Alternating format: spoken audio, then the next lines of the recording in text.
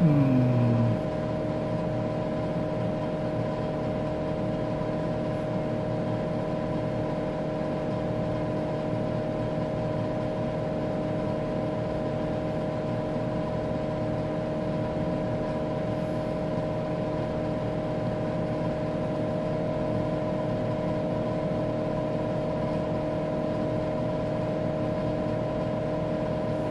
okay.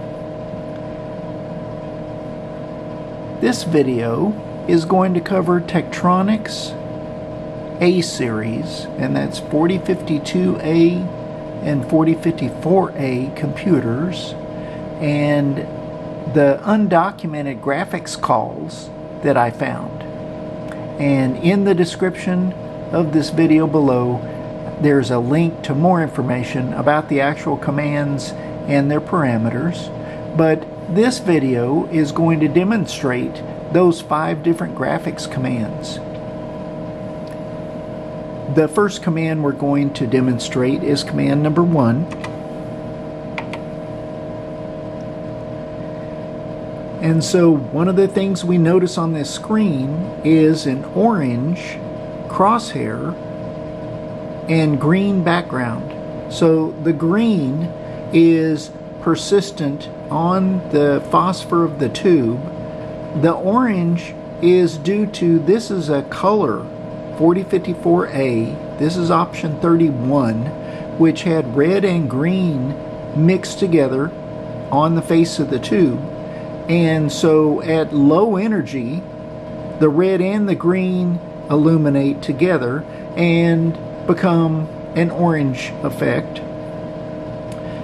Higher intensity, the red is short persistence, and as soon as the beam is drawn, uh, or the the line or text is drawn, it's green on the screen, and that's persistent. Uh, there is no memory, no video memory, as it were. The only thing that is being continuously refreshed are the crosshairs. And so if I use the thumb wheels on this system, then we can move to a point and do what the instructions say. For number one, this is going to draw a line normal to the arc, which is a 360 degree arc, a circle, from whatever point we have in the crosshairs. So let's just do an example. We have to press a key in order to finish the command and get the line uh, or the data point entered into the program so it can draw the line. So I press a key and there is the line normal to the circle. And I can move anywhere around the circle across the screen and hit a key and get another normal. One of the interesting things about this function is what happens if this point is inside the circle. Let's see.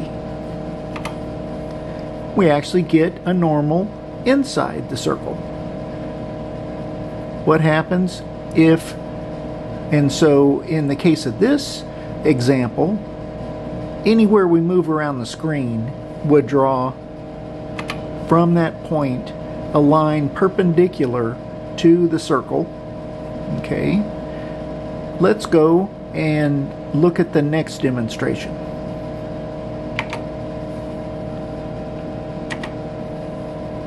This demonstration is number two, and it says this is normal to a line. And so it says digitize the end of the line, kind of like we did before, and press a character, and we press return to leave this demo for the menu. So what we're going to do is we've already got the crosshairs here on the screen. If I press a character, then we get a, once again, perpendicular to the first line is our new line. And we can go to another spot on the screen. The other thing that I didn't mention in this video. The computer screen we're looking at, the computer was first introduced in 1979, has a 19 inch storage tube, a CRT, very special, that basically has a resolution for these vectors of 4096 by 3072, which is 12 bit accuracy. And the thumb wheels have 12-bit accuracy and the lines are they're capable of resolving 12 bits of information. If I come over here in this demo and have the data point here, what happens when I hit a key? We get a line, normal, and the bottom of it is actually in line with the original line if it was extended. So it doesn't matter whether we're on the left side or the right side or the top or the bottom. It will calculate where the line extended would intercept and it will stop drawing the line that's normal when it would hit that point. All right, let's continue to the next demo.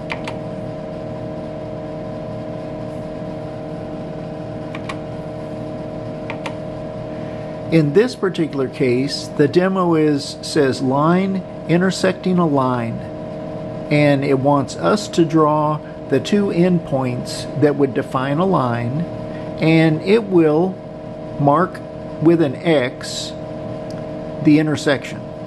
So let's start our line here and let's end it over here. I type the character and I get the line and we do see an X down here that represents the intersection of those two lines.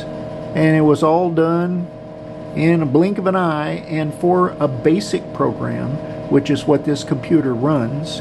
Uh, it was very, very high performance for the day. Let's draw another line from that point. And actually, I'm going to draw it into our menu program just to show we could draw the line anywhere. These characters that we see were written to the screen and the computer doesn't know and doesn't care. It can draw on top of them. But what we ended up doing is we have a new intersection for the line we just drew right down here. And similar to the other functions, if we go off past the end of this line in either direction and draw a line. I hit one key and I'm going to draw one out here. What do we think is going to happen? I'll bet you that it extends that line and says this would be the intersection point with that line as though it were drawn longer or extended in that direction. Let's go to demo 4.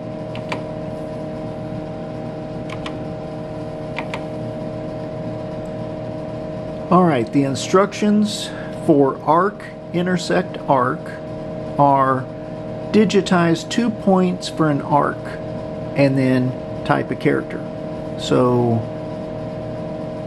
let's see if this is one of the points of the arc and this is another point of the arc there we go we get an arc and the intersects are marked with X's a top one and a bottom one pretty fancy we can do another arc uh, but let's try to get an arc that is completely inside the circle. So I think that's going to be a small arc. There we go. And there is no intersection of the original circle and the new one, so no X is displayed. And the same thing would go for drawing an arc completely outside no intersection.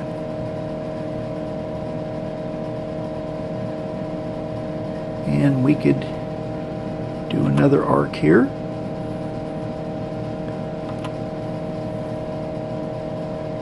And so we clearly see the computer has calculated the intersection, one of the intersections here between the original arc and that last one, and one down here.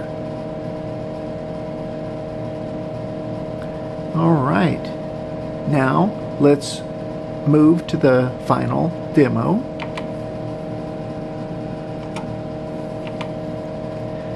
A line intersecting the arc. So we have our arc drawn, and it says digitize two points to define the line that either does or doesn't intersect this arc. So I'm going to start here and draw to here. And voila, upper and lower intersections with the original arc. That's all you'll get with a line and a circle is two. You could get as few if we tried to draw, let's try that. Let's try to draw a line that goes right on the edge. Well, it says this line actually, if you zoom in, uh, which we don't have zoom capability in the program, we missed touching the circle. So we'll try again. That one surely is going to intersect. But it intersects at two points. So uh, I think it would be very difficult to get it to intersect at one point. Uh, if we draw the line outside the circle, there's no intersection.